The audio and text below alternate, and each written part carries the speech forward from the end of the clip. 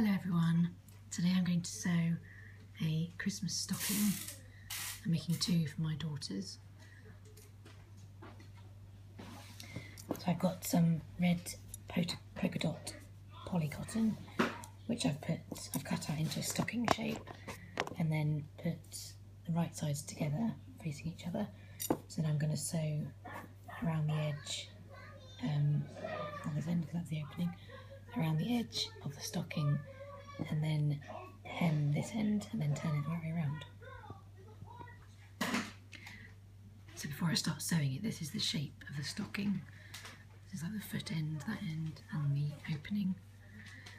And I'm going to just sew it with um, some normal red thread on setting number 10, which is like a normal large stitch. Okay, so now I'm going to sew the outside edges of the stocking. I haven't pinned it because it's quite flat and it's easier for me without pins anyway, so if I can get away with it, I will. Okay.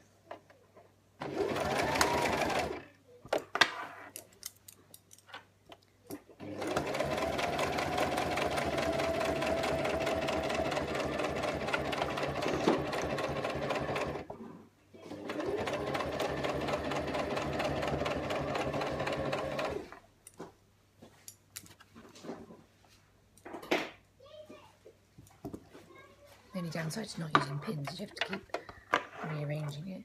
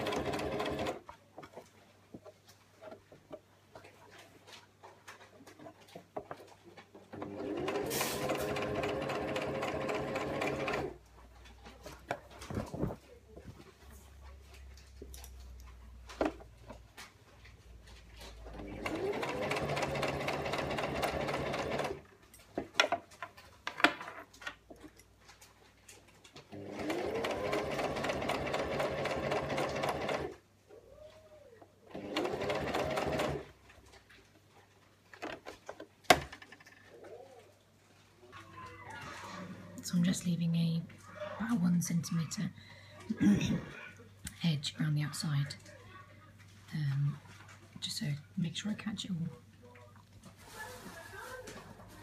For some reason this edge, the toe bit, has something's wrong with the tension and it's kind of curled up a bit, but it's not too bad. Once it's folded the other way around it should be okay. Okay, now I've got to, now I've got to do the hem.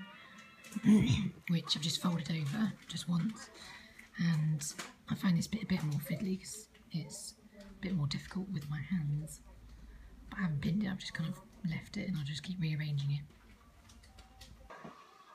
Okay, here we go with the hem.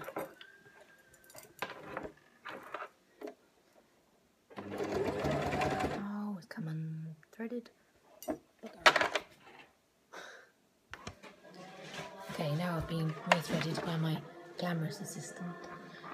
I can begin again. Take two.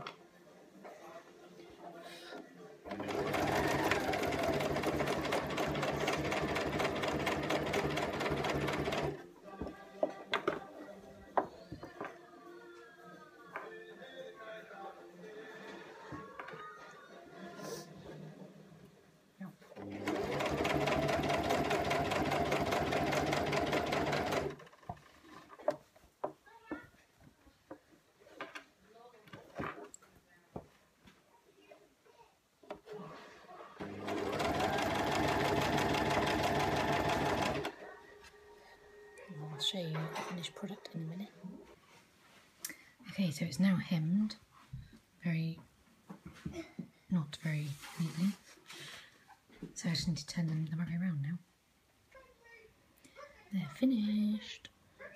There's one, turn the right way around, and there's the other one. They're kind of short and fat, but that's all the material I had.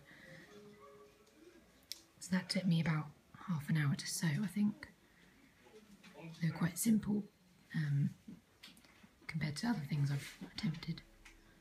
There's the advent calendar up there. That was much more difficult.